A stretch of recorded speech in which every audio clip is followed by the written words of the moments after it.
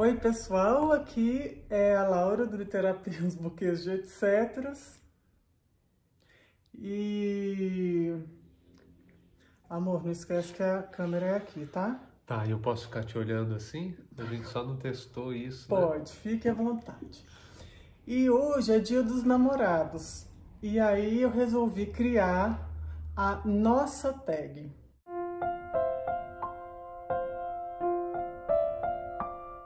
A tag se chama nossa tag, porque a tag será da dupla que resolver responder. Não precisa ser dupla de casalzinho amoroso. Pode ser mãe e filho, pode ser dupla de booktubers. Eu vou adorar ver vocês respondendo em dupla.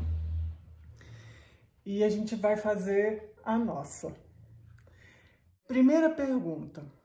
Qual foi o autor que mais marcou a sua infância. Ó, e é surpresa, viu, gente? Vocês não podem saber o que, que o outro vai responder, porque é na hora que tá gravando a tag que a gente vai descobrir, vai ser surpresa para todo mundo. Aliás, foi um imenso desafio a gente fazer isso. A gente teve que brincar de esconde-esconde, tivemos que fazer muitas coisas que fazia tempo que a gente não fazia, aliás, né? Pode, não pode, vem, não vem. Isso. Fica aí, não pode não ainda. Não pode olhar. Primeira pergunta, um autor que marcou muito a sua infância. Pega o seu, amor. Não tô olhando. Vamos mostrar? Vamos. Fernando Sabino. O meu Júlio Verne. Olha só. Que bacana. Então, esse autor, ele marcou demais a minha infância, o Júlio Verne. Aí eu peguei A Volta ao Mundo em 80 Dias, nessa versão da editora autêntica. Veio num box muito legal. Gente, eu me lembro, deu criança, assim, eu, sei lá, quarta série, e eu com, com o livro, assim, embaixo da carteira, e a professora falando assim, já terminou a sua prova, Laura? Tipo assim, terminei a prova em 10 minutos? Então pode pegar o seu livrinho, porque eu fazia tudo rápido na escola, porque eu sabia que o tempo que ia sobrar, enquanto as outras crianças estavam terminando a atividade, eu podia pegar o meu livrinho. E o meu livrinho costumava ser um livrinho do Júlio Verne, que eu era muito viciada. O seu, amor? Bom, é, esse livro, é, O Menino no Espelho, me marcou muito, é, porque ele é um, um romance assim infanto-juvenil é, e, na verdade, quem me iniciou na, na literatura, na leitura, foi é, a minha irmã, que é formada em letras e foi professora, recentemente ela se aposentou, ela foi professora a vida toda, então como ela é cerca de sete anos mais velha que eu, é, ela que é, foi me apresentando e esse foi um dos livros que ela me apresentou e que me incentivou muito a continuar lendo outras coisas além daquilo que a escola é, propunha, que eram também livros bons, né? Aquela série da coleção Vagalume, é, que marcou a minha infância, mas esse, esse livro ele tem um marco é, de um passo adiante na, na, minha leitura. Assim, eu gosto muito até hoje desse livro, quer dizer, eu acho que ele mereceria até uma outra leitura mais a, atualizada, né, minha. Mas é um livro muito bacana, eu super recomendo, inclusive. Deixa eu ver a carinha dele. Eu não li esse livro. É, eu, eu gosto muito. Tenho algumas peripécias aqui, enfim. O Menino do Espelho, essa é uma edição da Record. Tá aí. Beleza. Agora um autor que marcou a sua juventude. Vamos tirar junto? Vamos. Tcharam! Nossa, Beckett? Sim, sim. e eu com sim. Tolkien. Bom, gente, então, eu vou explicar por que, que esse autor, o Tolkien, marcou minha juventude. Eu fui viciado em RPG na juventude a ponto da minha mãe ameaçar me internar. Então eu fiquei sete anos da minha vida vivendo na Terra-média. porque o RPG é um jogo de interpretação de personagem, né? Aí eu era uma guerreira medieval e ali eu fui vivendo, eu casei, eu tive filhos, eu morava no meu castelo e eu pirei. Então a minha juventude foi dentro da Terra-média. Não tem como, né? Eu lembrar da minha juventude e não pensar que foi aqui na Terra do Senhor dos Anéis que eu vivi é, no meu caso, acho que não dá para é, explicar o porquê do, do Beckett sem falar um pouquinho da, da minha própria história, né? Assim, hoje eu sou um acadêmico, mas é, essa questão acadêmica ela veio um pouco tardiamente na minha vida. Antes da, da vida acadêmica, no começo da minha juventude, é, eu, eu fui, eu, eu fazia oficinas de teatro, participei de algumas peças, enfim, né? coisas muito pequenas.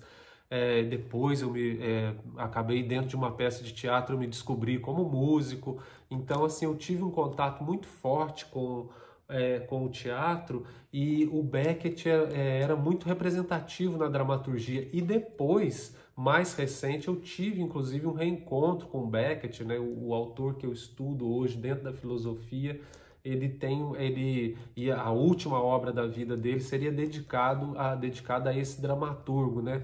O Beckett ele é uma espécie de um é, minimalismo que ele fala é, através desse minimalismo ele traz é, a, a ideia de silenciamento da própria linguagem, né? O Beckett é um autor bastante profundo assim dentro da literatura contemporânea. Ele não só escreveu dramas, né? Ele tem é, é, romances também, tem uma sequência de, de, de romances, enfim.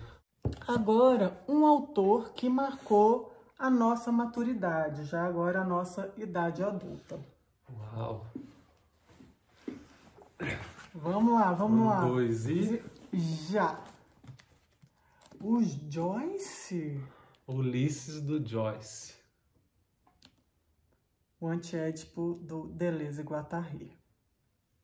Por que, que esse livro marcou a sua vida adulta? Porque esse livro aqui, ele juntou tanta coisa que foi importante para eu entender como eu gostaria de ser na minha vida e o que eu gostaria de passar para as pessoas também na minha profissão.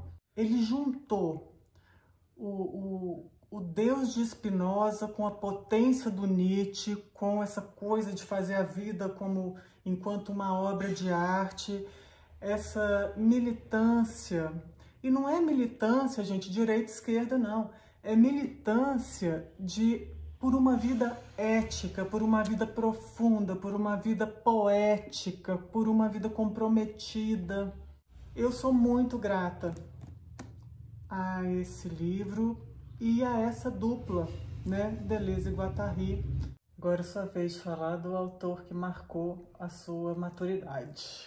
Bom, o autor que marcou a minha maturidade foi o James Joyce e é, eu gosto de falar especialmente dessa obra do Joyce, que é Ulisses, é, porque aqui há uma, uma questão muito é, vivida na vida adulta que é essa concentração é, diferenciada de um tempo que é um tempo espaço, né? Que é o, que é o tempo da juventude, é, para um tempo duração, quer dizer, é um tempo que é mais intenso. É, porque, afinal de contas, ele conta a história do Ulisses aqui, porém condensada, né? E ela se passa em um tempo muito curto.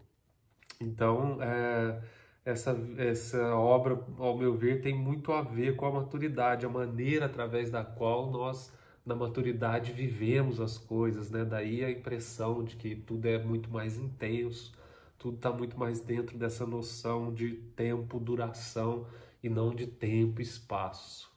Então uhum. fica a dica do Ulisses do James Joyce. Agora começa a ficar bom, gente. Presta bastante atenção. Se eu, Laura, fosse um livro, que livro eu acho que eu seria e que livro ele acha que eu seria? Vamos lá, um, dois, três e. Grande Sertão. Que é esse? Você acha que eu seria o Grande Sertão? Mas eu tão bonita, Essa né? travessia Foto. dia, é, de Diadorim e do meu dia dourado. Que lindo. É, é, assim, eu acredito que é, essa é uma obra extremamente complexa em vários sentidos, né? Uma obra grande, ela trata-se de uma travessia, né? E quando eu penso, é, quando eu penso em você assim, eu te vejo como uma travessia. Eu poderia relacionar esse livro também com a, o nosso próprio relacionamento, né? Que é uma travessia de desencontros. É, Esse desencontro é marcado por um ostinato que é o próprio O que, que é o né? ostinato, Não, pera, é uma figura musical que se repete no decorrer de toda Ah, né? Quer dizer que dentro desse É desencontro ti- tinha, tinha o encontro. Então essa obra acho que fala muito de você e tem a coisa do personagem, de um dos personagens, o Diadorim. Né? O Diadorim, assim, é é uma coisa é, muito sua, que oculta e, e se revela, né? Uma instauração de mundo, assim, que oculta e revela simultaneamente, né? Assim, mantenha-se.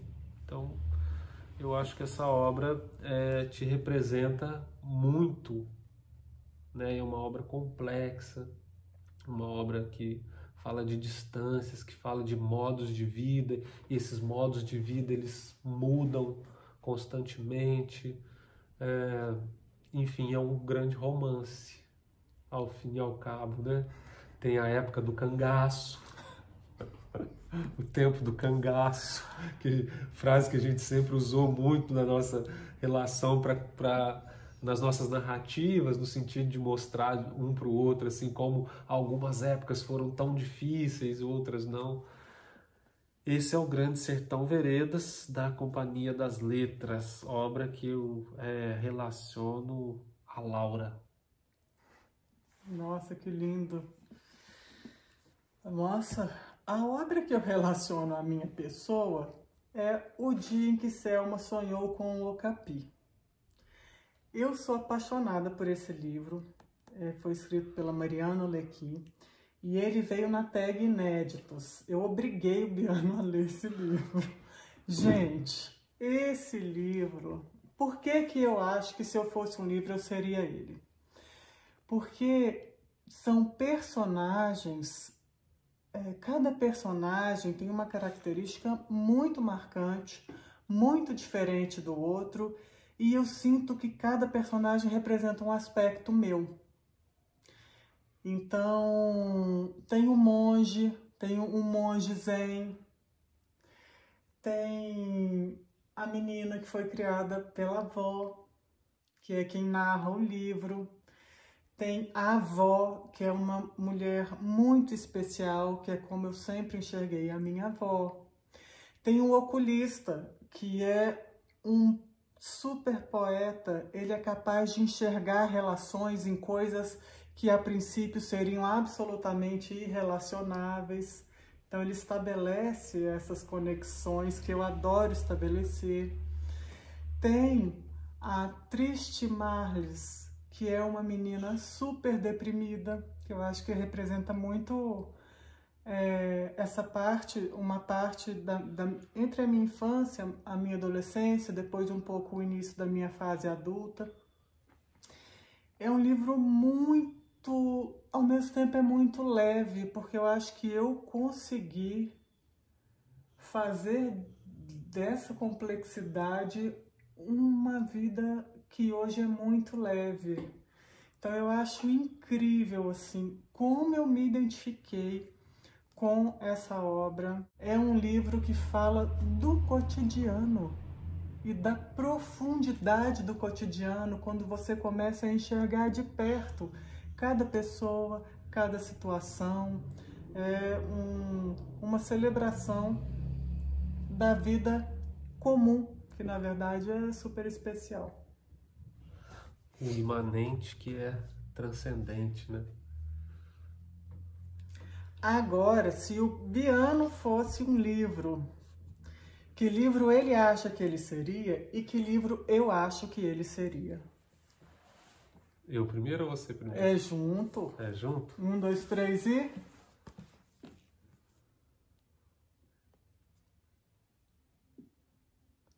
mas é a sua cara esse livro. mas esse aqui também. É, Eu fiquei tão em dúvida se eu ia lá para cima, na, na, na nossa estante dos livros budistas, dos livros zen, dos livros orientais, ou se eu ia para o alemão. Aí, gente, eu pensei nesse aqui por vários motivos. Primeiro, o Biano, ele é um calhamaço porque é uma quantidade de coisa dentro de você que é muito impressionante. E é, é, parece muito com isso aqui, porque é uma casa, mas não é só uma casa, é um sanatório. É uma casa onde as pessoas vão para se curar. E eu acho que esse é muito o ofício do professor.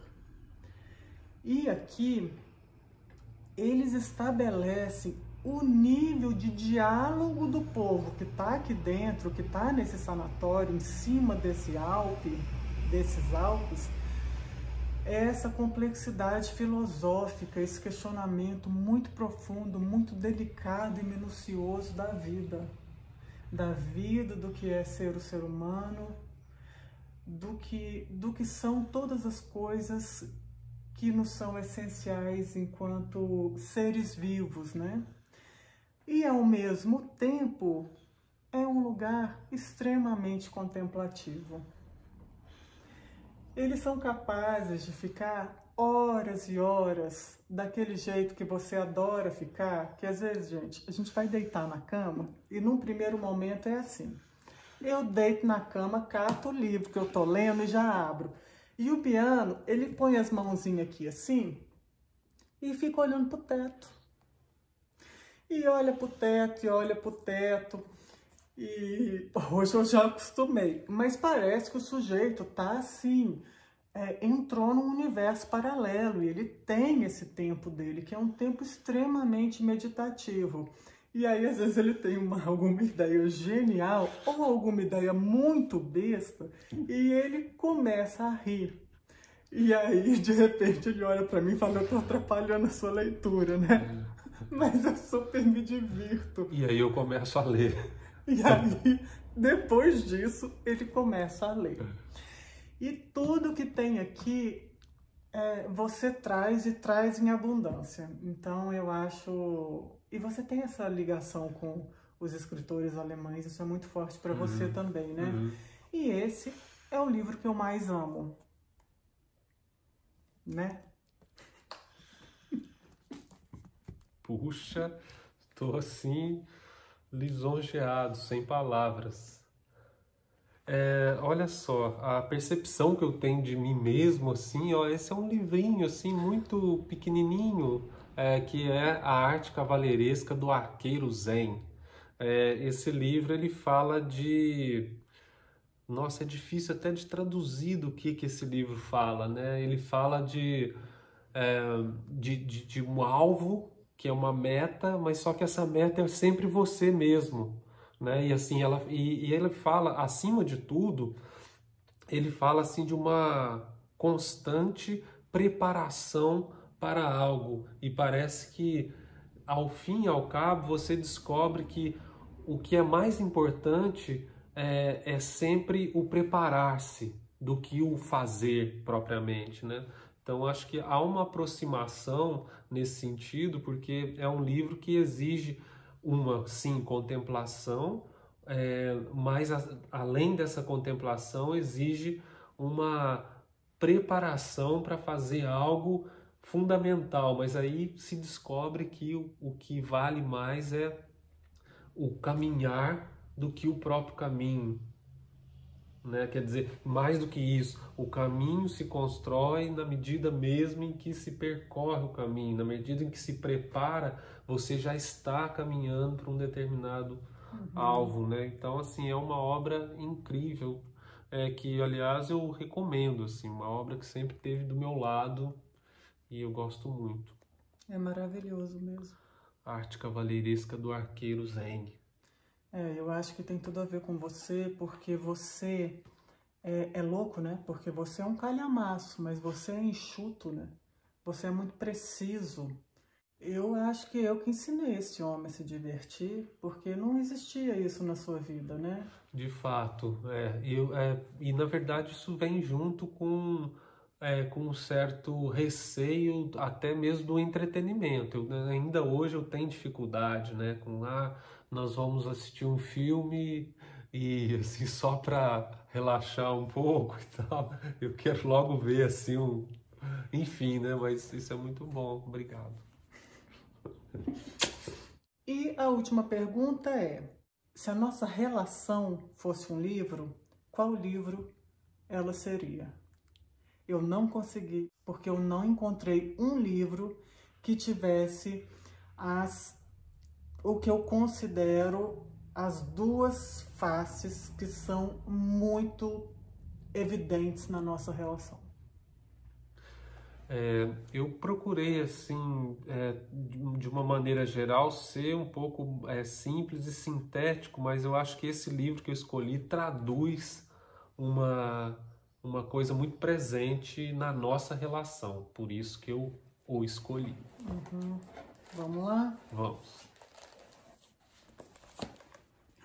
Ai, que fofo!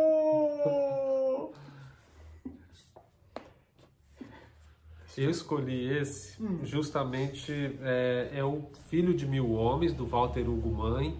É, eu acho que existe um, de novo, um, uma coisa que se repete aqui, um leitmotiv, um ostinato, para usar figuras musicais, é, que é a questão um do cuidado. Né? Eu acho que o nosso relacionamento ele é, tem uma base assim no cuidado recíproco, esse é, é um aspecto, e dois, algo que é, junto com os seus ensinamentos de me divertir, eu aprendo com você também o, o lidar com a delicadeza. Esse livro ele fala para mim, acima de tudo, da delicadeza no que tange ao cuidado com o outro. Uhum. Então, assim, é, por, esse, por esse motivo, foi assim, para escolher um livro só nesse momento, foi em conteste eu escolher O Filho de Mil Homens do Walter Hugo Mãe, e que aliás foi uma recomendação sua que eu li mais recentemente. Uhum. E é um livro sem quina. E é um livro sem quina, ah, tem isso. É, como eu já disse, essa, esse tipo de apreciação eu tenho eu tenho aprendido também. Obrigado mais uma vez. Eu escolhi dois porque eu realmente não consegui encontrar um livro que dissesse tudo da nossa relação. Então, um Diário de uma Volátil, porque eu sou essa metamorfose ambulante. E aí é muito engraçado isso daqui, gente. E ele se comporta igualzinho o namorado dessa menina. É muito ótimo, gente. É um HQ e com umas coisas tão legais, tão fofas. E eu acho que tem tudo a ver com a gente. Quer ver?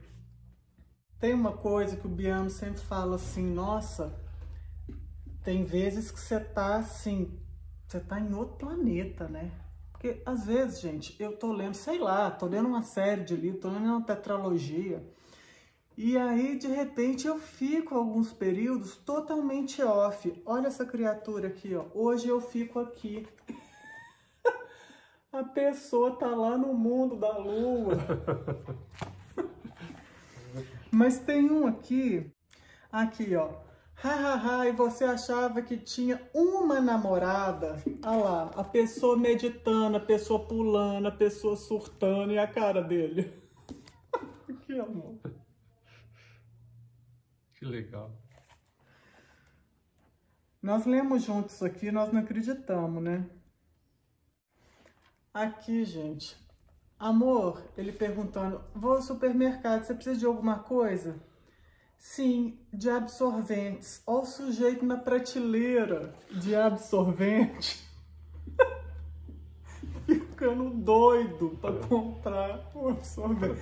Então, essas coisas muito gostosas do, do muito, muito, muito cotidiano, né?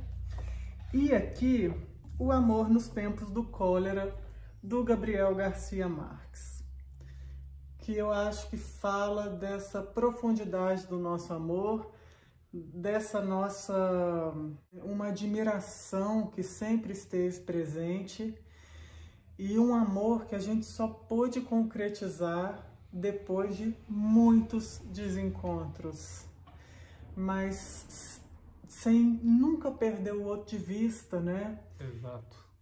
Porque o mais importante era que o outro estivesse feliz, né? Isso assim era muito bacana e como que a gente foi, a gente teve essa graça, né?